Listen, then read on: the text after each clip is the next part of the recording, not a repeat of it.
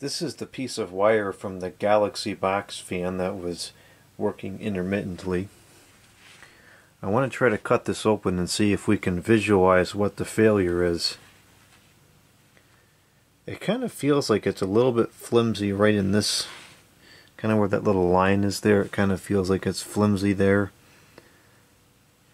It's stranded wire, so I'm very surprised that it just clean broke, but I suppose all those little individual strands will eventually break if they're flexed enough times.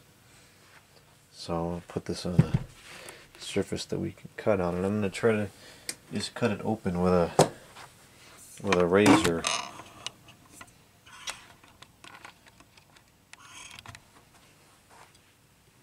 So I think that I think it's this side that's gone.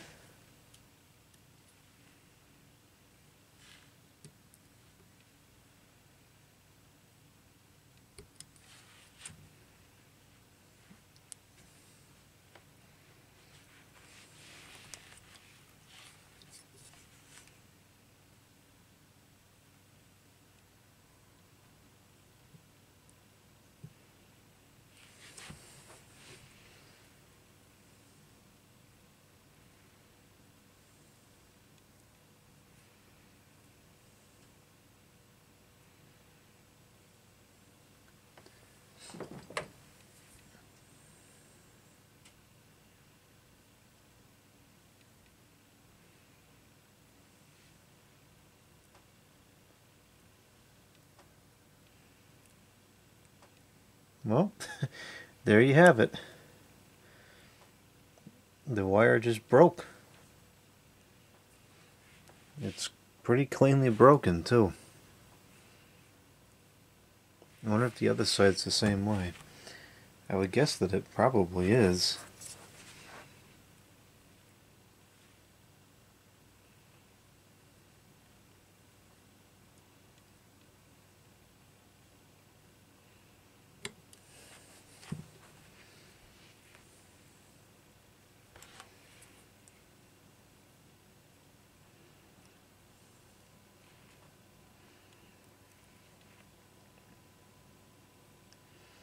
Yep, it's the same thing. It's just cracked. Or not cracked, but it just, it, the wire, um, I guess it just flexed enough times that all the strands broke.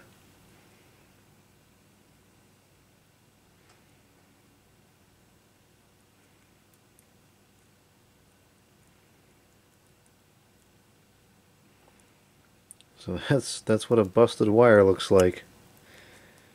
It's almost like